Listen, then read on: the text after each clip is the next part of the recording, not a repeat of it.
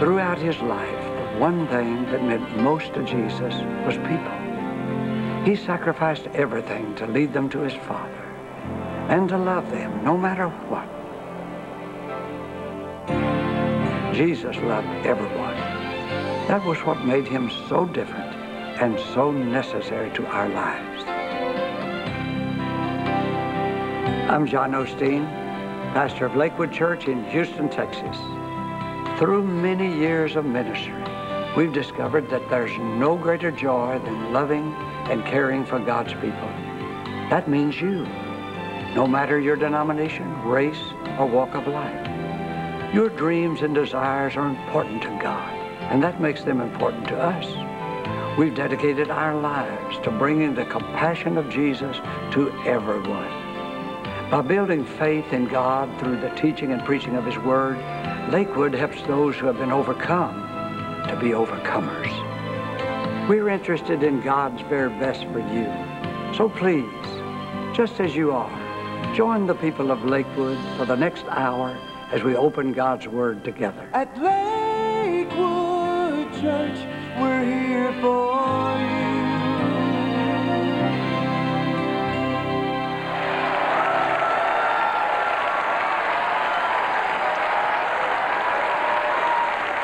We welcome you.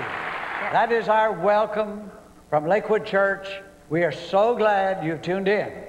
I'm a pastor, is my wife here, and we were here to bless you and to minister the Word of God to you. And we're just so delighted that you choose to watch the program. And everybody said amen. Amen. I want to encourage you that if you don't understand why things happen in life, just trust God anyway, because God knows what's best for us. You say, well, why did God do this and that? And, you know, it was, you know, there is a devil. If there's a God, there's a devil. And the devil does the bad things.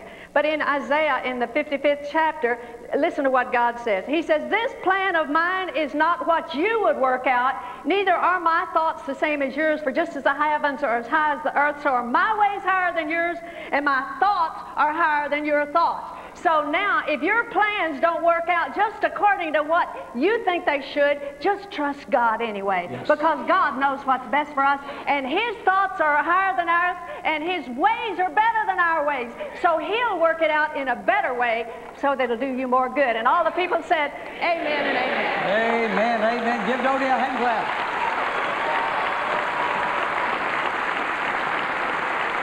All right, let's all make our confession together.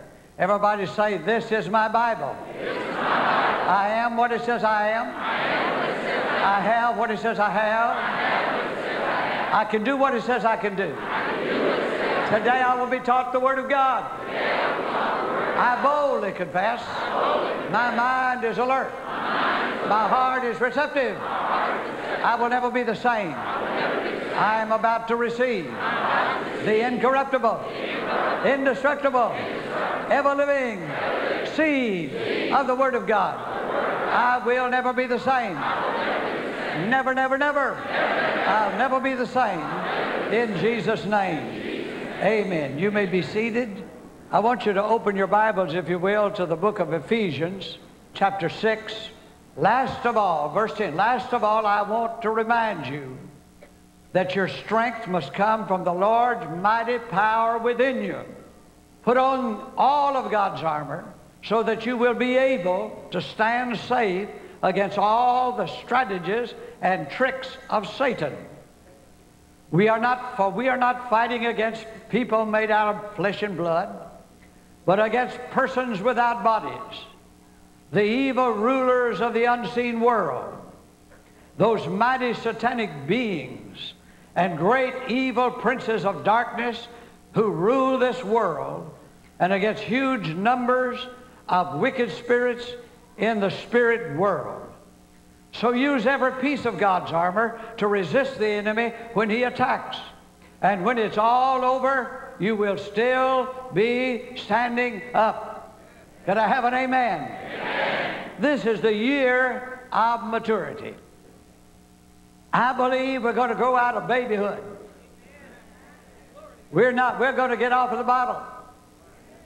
We're going to, we're going to no longer be babes. We're no longer going to be children. We're going to grow up. But you will never grow up until you get the Word of God on the inside of you. Now, I'm not a televangelist. I want you to know that. I'm not an evangelist. I am a telepastor. Is there any such thing as a telepastor? Anyway, I add to what your pastor gives you, and so it's a pastoral message to help you to grow. But there is more truth in the body of Christ today than ever on the, in the history of the church. Thank God for the Word of God. But you know, a lot of people go to church all their life and never know who their enemy is. They think it's their wife, or their husband, or their boss, or somebody else. This Bible tells us that we have supernatural enemies. And if we have supernatural enemies, we need supernatural power. Somebody said, Well, I tell you, I don't like that talking about the baptism in the Holy Ghost. Well, you may not talk about like talking about Satan and demon powers and, and dragging people down to hell. Listen, there is a devil and there is a God and there's a baptism in the Holy Ghost and fire that helps us to understand our rights.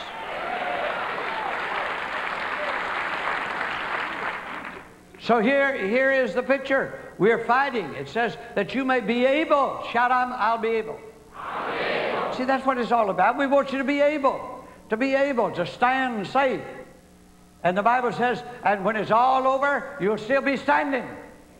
Now, we want to talk about that today. I want to read some out of the Amplified here, too, in Ephesians chapter 4. Therefore, when he said he ascended on high, he led captivity captive. He led a train of vanquished foes. Now look up here just a minute. When Jesus arose, after he had done mortal combat with the spirit world, he led a train of vanquished foes. Who was that?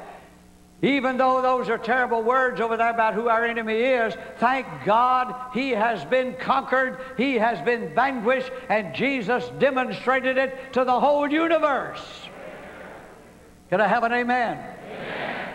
And then I want to read to you Colossians 2. Colossians 2 14 and 15. This is a very illuminating scripture, and you need to know, you got to know these things, people. Not just think about it, but you got to know them.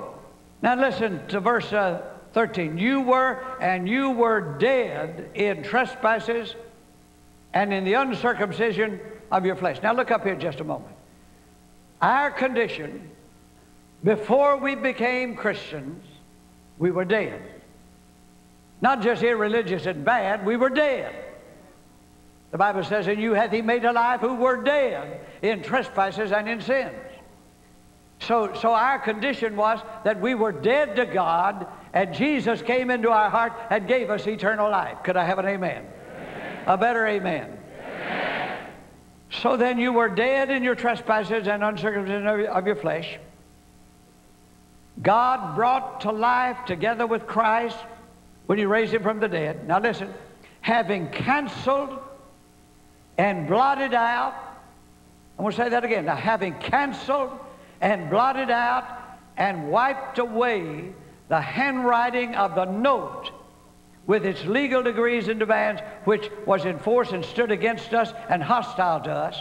This note, with its regulations, degrees, and demands, he set aside and completely cleared out of the way by nailing it to his cross.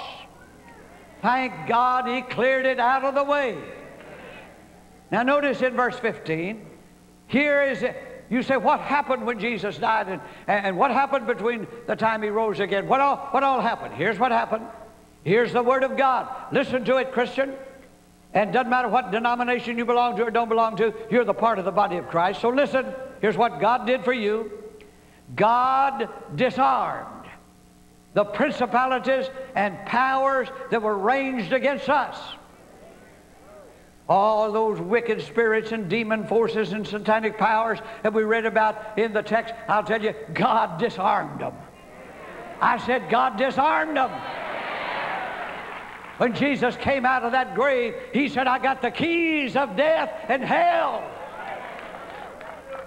They, all the devil can do is deceive you, and lie to you, and scare you.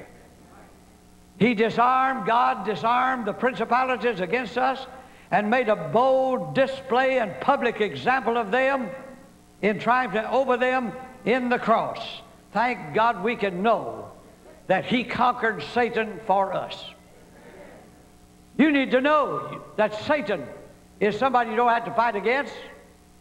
You just resist because Jesus has already fought for us. Could I have an amen? amen? Now I want to read something to you out of the out of the Living Bible, and it's found in Romans chapter three. Romans chapter three, and I like the I, I like the Living Bible on this.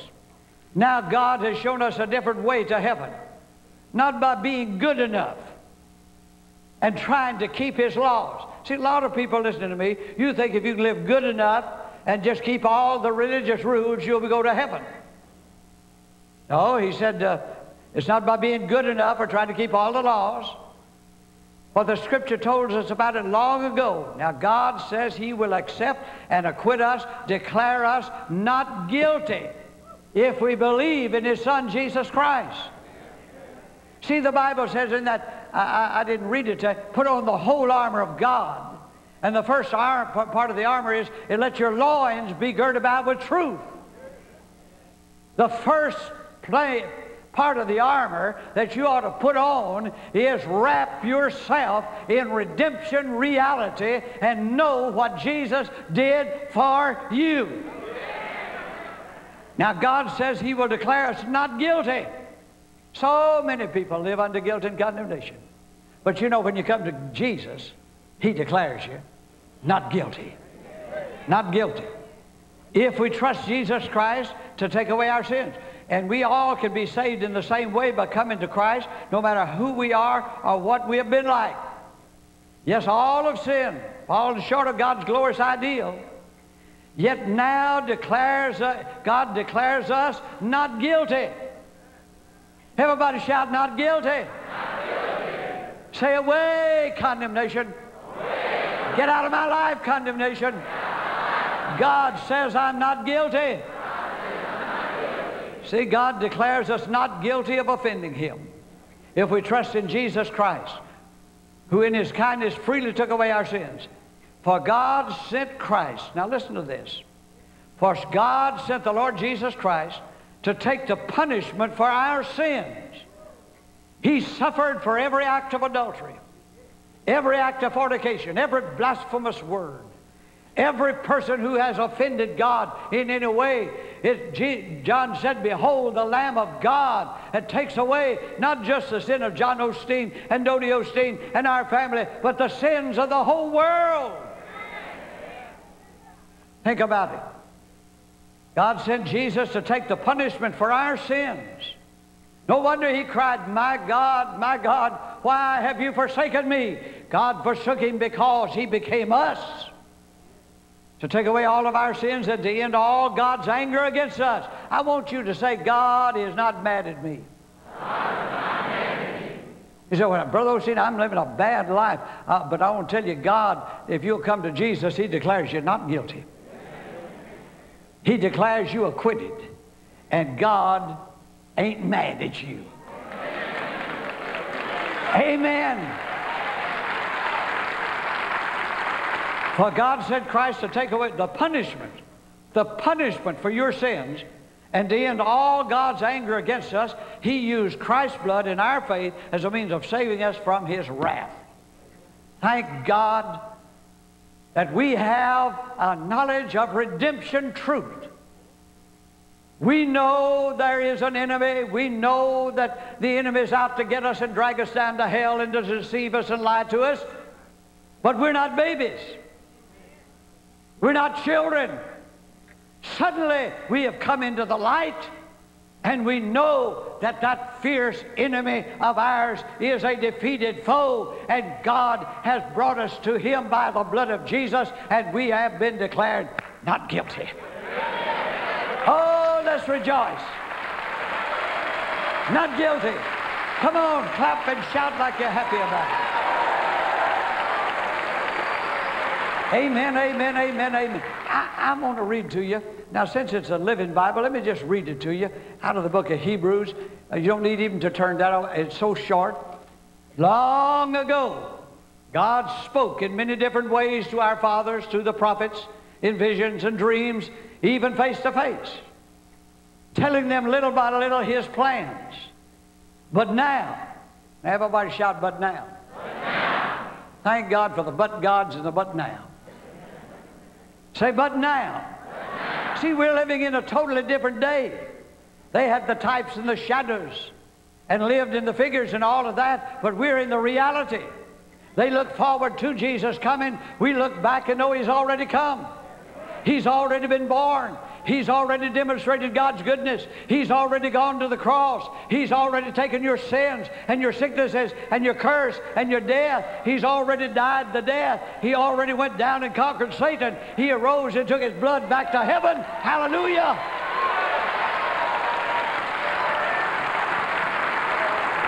We are living on the, on the, in the day when all you have to do is call on the name of the Lord to be saved. That's what the psalmist said. This is the day the Lord hath made. We will be glad and rejoice therein. What day? The day when all you have to do is call on the name of the Lord Jesus. Woo! I got happy. I tell you, this is fire in my bones. And I have such a burning desire as a pastor to feed the people of God and to let you know that you're sons and daughters of the Most High God. You don't have to crawl through life defeated. You can rise and rule over the devil. Come on, let's rejoice. Hallelujah. Hallelujah. Thank you, Jesus. And I'll tell you, we're raising up a generation of young people over here and all through this audience. They know who they are. Thank God they know who they are. They know what to say to their enemy who wants to come and deceive them. Long ago, God spoke in many different ways to our fathers through the prophets and visions, even face to face, telling them a little by little about His plans. See, we have the full revelation of His plan. Paul talks about it. But now, that's where we stopped off a while ago. Everybody shout, but now. But now, in these days, He has spoken to us through His Son. Jesus is God's last message to the human race. He's spoken to us in His Son. Jesus is the Alpha and the Omega, the A and the Z, the Greek alphabet, Alpha and Omega. In other words, there's nothing else you can hear that Jesus doesn't tell you about. He is the complete revelation of God. God has spoken to us through his, through his Son, to whom He has given everything, and through whom He made the worlds and everything there is. Listen, the Lord Jesus made this world, this universe. God's Son shines out with God's glory. And all that God's Son is and does marks Him as God, and He regulates the universe by the mighty power of His command. Listen, you can set your clock a thousand years from now, and this universe will be running on time. Jesus holds it and regulates it by his word of power. Hallelujah. Now listen. He is the one, now notice, the one who made this world and regulates it by his mighty word of power. King of kings and Lord of lords, creator of all things. Listen, he is the one. He is the one who died to cleanse us and to clear our record of all sin. And then sat down in the highest honor beside the great God of heaven. Oh my. When you think about who it was born of a Virgin Mary, who it was that walked the shores of Galilee, who it was that demonstrated God's goodness and love and mercy and healing and miracles on this earth. When you think about who it was who went to that cross. I'm talking about knowing reality. I'm talking about growing up. I'm talking about not having to run to the preacher for everything. I'm talking about knowing what happened when Jesus died and rose again. He is the one who died for our sins to clear our record. Clear our record. Notice these, these phrases. Not guilty. Everybody shout, not guilty. Now, this is what will happen if you would just simply give yourself to Jesus. Listen to these phrases. Everybody shout, not guilty. Not guilty. Acquitted. Acquitted. He took away our sins. He cleared my record. My record is clear. And listen, if you have a bad record and you want it cleared, just come to Jesus. Because when you come to Jesus, all He did will put, be put into effect for you. I don't care who's listening, what all you've done, how many bad things you've said, you said, how many uh, immoral things that you've committed, and all of that, all of the things that hang over you. Listen, when you come to Jesus, He will clear your record. Come on, let's shout.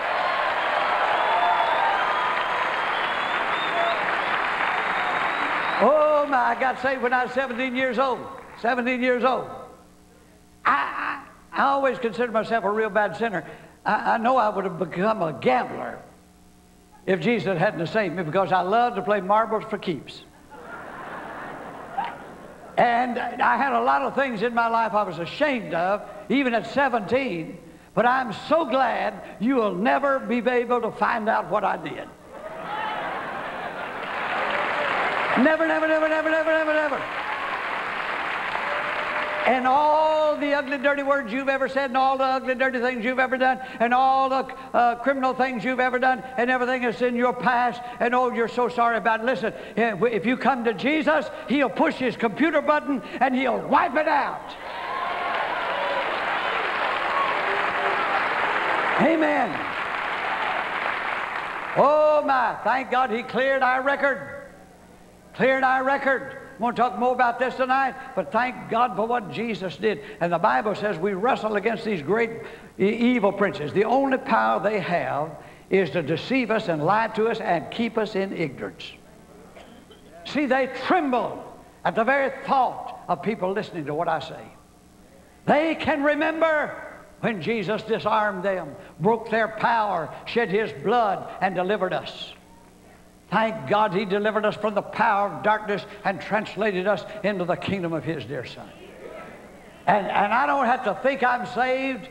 I know I'm saved. Thank God I don't have to think I'm not guilty. I know I'm not guilty. His blood has cleansed away my sin and your sin.